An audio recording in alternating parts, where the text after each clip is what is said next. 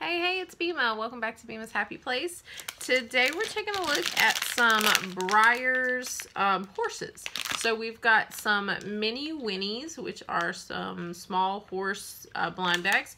And then I did pick up another one of the Unicorn Crazy Surprises. So we'll start with the mini Whinnies. Um, it looks like there are three, six, seven, eight of them to collect. I'm a big fan of this one down here. And I kind of like the white one too. But we're going to see who we get. I have three of these. So here we go. First mini Whinnie is... yes! The one I wanted!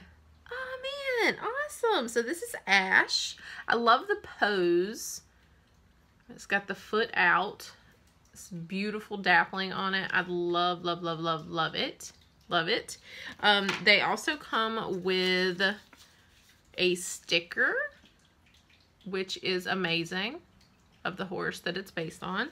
And then you get a little checklist. So let's see if we can go for no duplicates. All right, package number two of the Mini Whinnies. We have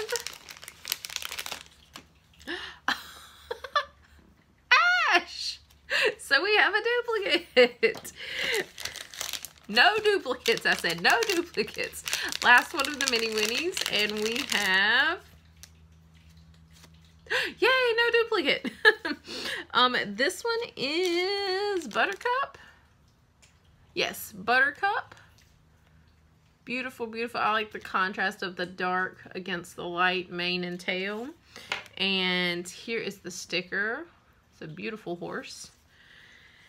And then lastly, our unicorn. Now, based on what's on the back of this, I do not think this is from the same series that I opened the last two from. Um, but I could be wrong. This is series two. So let's see who we get. Wait a minute. Wait a minute. Is this one we got last time?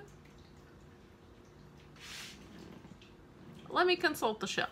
I'll be right back. Okay, so this is not one we got last time, but the two that we opened last time were like this this color and then the pink color. So um, I do not think this is the same series because the two that I opened last time I do not see on here. Um, so this is one of the ones that's on the back of the bag. It's this one right here. Um, so not the surprise, but still a very lovely unicorn. I hope you guys enjoyed this video. Thank you for watching.